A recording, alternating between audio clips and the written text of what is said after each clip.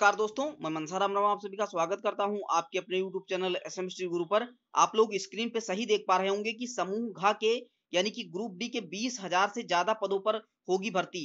ये बीस हज़ार ही नहीं है, बाकी यहाँ पे ग्रुप सी के लिए भी भर्ती जो है, जल्दी ही निकलने वाली है। उसके लिए फॉर्म कब आएँगे, योग्यता का क्या होनी चाहिए चयन प्रक्रिया क्या है और सैलरी कितनी मिलेगी, सब कुछ यहाँ पे इस वीडियो में डिस्कस करेंगे। आप लोगों को पता है कि चैनल पर फर्जी न्यूज़ नहीं दी जाती है, यानी कि पहले हम न्यूज़ को वेरीफाई करते हैं, उसके बाद ही आप लोगों के समक्ष प्रस्तुत करते हैं। ये न्यूज़ जो है दो दिन पहले आ गई थी, लेकिन जब सटीक जानकारी हमको मिली है, तभी हम आप लोगों के समक्ष प्रस्तुत कर रहे हैं। तो इस वीडियो को आप लोग शेयर करिएगा चैनल को सब्सक्राइब कर लीजिएगा, क्योंकि यहाँ पे हर एक जानकारी सही और सटीक ढंग से सबसे पहले प्रोवाइड करवाई जाती है। तो यहाँ पे न्यूज़ क्या है, सब कुछ यहाँ पे हम डिस्कस करने वाले हैं।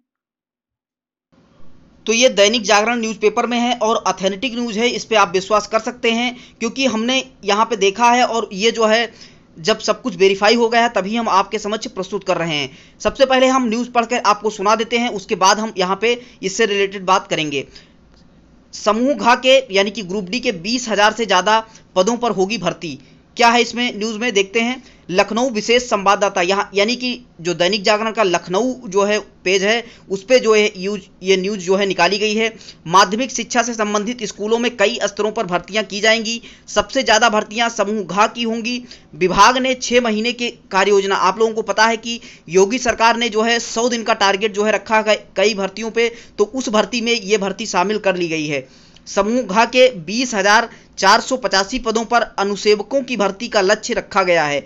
ये भर्ती आउटसोर्सिंग से होगी, यानी कि जो समूह घा की भर्ती है, ये संविदा पे जो है रखी जाएगी, ये भी यहाँ पे क्लियर कर दिया गया है। ये भर्तियाँ आउटसोर्सिंग से होंगी। इसके साथ ही माध्यमिक स्कूलों में, जो माध्यमिक स्कूल हैं यहाँ पे तीन हज़ार नवासी, तीन हज़ार नवासी पदों पर जो है भर्तियाँ की जाएँगी, यानी कि बीस हज़ार चार सौ पचासी प्लस तीन हज़ार नवासी पदों पर लिपिक की भर्ती की जाएगी। आप लोगों को पता है कि लिपिक के लिए यहाँ पे क्या ज़रूरी होता है? टेन प्लस टू, यानी कि अगर आप सिंपल इंटर पास होंगे तो आप इस फॉर्म को भर पाएँगे। इंटर पास के साथ में टाइपिंग टेस्ट भी जो है यहाँ पे मांगा जाएगा। तो लिपिक के लिए ये आप जो है एलिजिबिलिटी सुन सकते हैं। नेक्स्ट यहाँ पे समूह घा के लिए यहाँ पे हो सकता है आठ पास मांगे या फिर दस पास मांगे। जैसे ही नोटिफिकेशन आएगा, सब कुछ हम यहाँ पे क्लियर कर देंगे। नेक्स्ट न्यूज़ में क्या लिखा हुआ है कि मुख्यमंत्री के सामने पेश कार्य योजना में छह महीने में एडेड स्कूलों में लिपकों की भर्ती अगले छह महीने में करने का प्रस्ताव रखा गया है। अल्पसंख्यक स्कूलों में, जी हाँ यहाँ पे और भी भर्तियाँ दी गई हैं। ग्यारह पदों पे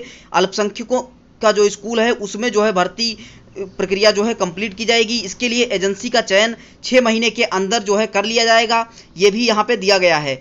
नेक्स्ट यहाँ पे चौरासी ऐसे स्कूल हैं जिनका संचालन शुरू होना है और बा इक्कीस सौ शिक्षकों और प्रधानाध्यापकों के अन्य पद की जो है भर्तियाँ इसी के माध्यम से की जाएँगी। तो ये भी आप देख सकते हैं तो लगभग यहाँ पे मोटा मोटी देखा जाए तो पच्चीस हज़ार प्लस पदों पे यहाँ पे भर्ती जो है निकलने वाली है। तो इसके लिए आप लोग तैयार हो जाइए। अगर आप लिपिक का फॉर्म भरना चाहते हैं तो ten plus, two plus typing होना चाहिए और यहाँ पे जो समूह घा के, यानी कि ग्रुप डी की जो भर्ती है, उसके लिए सिंपल सा यहाँ पे हो सकता है दस पास मांगे, हो सकता है आठ पास मांगे, इसके लिए नोटिफिकेशन का आप लोगों को इंतज़ार करना पड़ेगा। नेक्स्ट यहाँ पे देख सकते हैं अशासकीय स्कूलों में शिक्षकों के 703 पदों का चयन प्रक्रिया तय की जाएगी। यहाँ पे ये भी आप देख सकते हैं नेक्स्ट यहाँ पे इकतालीस हाई स्कूल और 18 इंटर कॉलेज का निर्माण शुरू हो गया है और इनके लिए 703 पदों पर जो है भर्ती का सृजन किया जाएगा ये भी यहाँ पे दिया गया है। तो काफ़ी इंपॉर्टेंट और अच्छी न्यूज़ जो है, है आप लोग चैनल को सब्सक्राइब करिए वीडियो को लाइक कर दिए ज़्यादा से ज़्यादा लोगों को शेयर कर दीजिए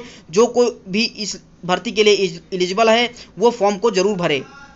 जैसे ही भर्ती का नोटिफिकेशन ऑफिशियल जो है जारी होता है, हम आप लोगों के समक्ष विस्तार से उसको डिस्कस करेंगे, वहाँ पे हम बात करेंगे कि ऑनलाइन फॉर्म होगा ऑफलाइन होगा, या फिर योग्यता योग्यता मैंने जो मेरी नॉलेज में थी, वो मैंने बता दिया है। बाकी चयन प्रक्रिया क्या होगी, सब कुछ यहाँ पे रिटर्न एग्ज़ाम क्या होगा, क्या सिलेबस होगा, सब कुछ हम आपको बताएँगे। इसके लिए आपको चैनल को सब्सक्राइब रखना होगा और बेल आइकन को ऑन रखना होगा, जिससे कि आपको जो है नोटिफिकेशन प्राप्त हो, आप वीडियो को देख पाएँ और आप सबसे पहले जो है जानकारी पा पाएँ।